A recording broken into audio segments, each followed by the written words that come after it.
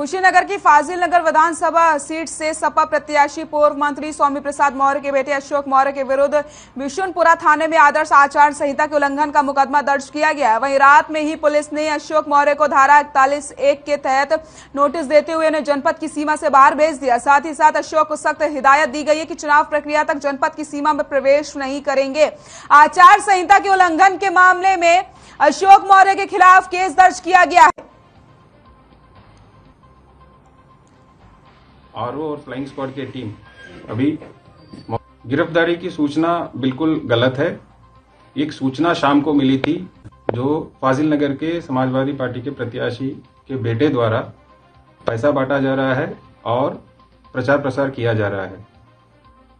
जिस शिकायत पे तत्काल मौके पे टीम गई थी और वहाँ पे तीन गाड़ियाँ और सात आठ लोग पाए गए थे और उनके बेटे को पूछताछ के लिए थाने पे लाया गया।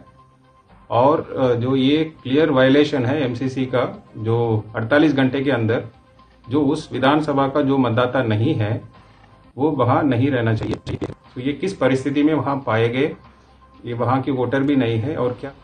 तो कुशीनगर में स्वामी प्रसाद मौर्य के बेटे के खिलाफ केस दर्ज कर लिया गया है। आचार संहिता के उल्लंघन के आरोप में यह मामला दर्ज किया गया है। तो आपको बताते चले, अशोक मौर्य को ज़िले से बाहर भेज दिया गया और सख्त हिदायत दी गई कि जब तक चुनाव संपन्न नहीं हो जाते हैं तो अशोक मौर्य तब तक ज़िले के अंदर प्रवेश नहीं करेंगे।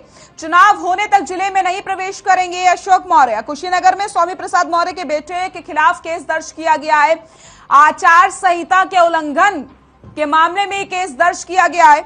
और साफ़ तौर पर पुलिस ने हिदायत भी दे दी है कि जब तक चुनाव संपन्न नहीं हो जाते, तब तक अशोक मौर्य ज़िले के बाहर ही रहेंगे ज़िले के अंदर प्रवेश वो नहीं करेंगे। तो जैसे जैसे उत्तर प्रदेश के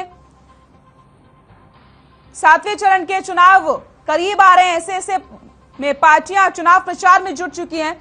और कल रात स्वामी प्रसाद मौर्य के बेटे के खिलाफ केस दर्ज किया गया है। आचार संहिता के उल्लंघन के मामले में यह केस दर्ज किया गया है और अशोक मौर्य को सख्त हिदायत भी दे दी गई है कि जब तक चुनाव संपन्न नहीं हो जाते हैं, अशोक मौर्य ज़िले के अंदर प्रवेश नहीं करेंगे।